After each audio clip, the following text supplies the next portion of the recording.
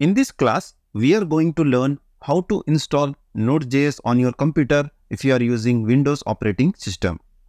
At the time of recording this class, I am making use of Windows 11 version of Microsoft Windows operating system. So the first step in installing Node.js on your Windows machine is you have to quickly search Node.js keyword with the help of any web browser. I'm making use of Google over here. At the top, there is Node.js link, nodejs.org. You can click on this or straight away click on download and install Node. I will click on Node.js. Now here at the landing page of this website, you will see download node.js over here or else you can click on download section as well. Either you can go over here and you can see the command which we can use and install with the help of PowerShell. So we don't want to use that. Let me just come back. I will click on download node.js LTS. Click on this and it will be downloading me the .msi file. So we will wait for a couple of seconds until it completely downloads.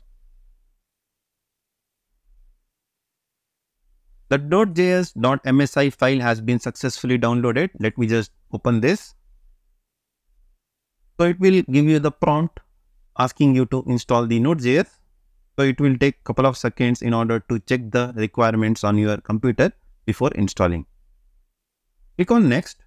Here you have to accept the license agreement. You can go through this agreement, what it says. If it suits, just click on this or else you can cancel. I'm check marking that I accept with the terms and conditions of Node.js. Click on next.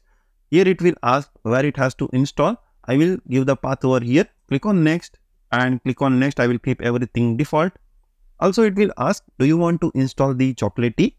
So this Chocolatey, it is used on Windows computers that is to package the modules. Let us quickly see what is Chocolatey mean. Google with Chocolatey keyword and click on this. At high level, it will tell this is the package manager for Windows. You can have a look at this, what it means. I will select this automatically install the necessary tools that is Chocolatey and click on next and click on install. If it gives you a prompt and if you are an administrator for the computer, just click on S in the pop-up if you get. So this will take couple of seconds until Node.js completely installs on our computer. I will pause this class until it completely installs. Once Node.js has installed all the files on your computer, you will get this message that is completed Node.js setup wizard uh, successfully installed. Click on finish. So it will automatically open this command prompt. Just click on any key and it, I think it will be installing the Chocolatey and other necessary modules which is necessary in order to run this Node.js on your Windows computer. I will pause this class until all the necessary packages or the modules are completely installed on my computer. Once all the packages are successfully installed, you will get a message type enter to exit. Let me click on enter. Done. Next, how you can verify whether the node has been completely installed or not. You can just open the command prompt and just write this command. You will see what is the version you are running on your computer.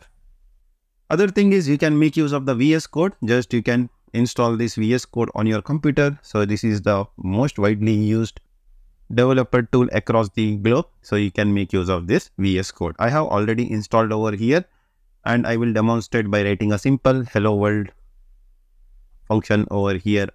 I will write over here the console.log and the message hello Beenum learning. Just save this control S and just right click over here and open in integrated terminal. I will write over here node followed by the file name, click on enter and I will get the message.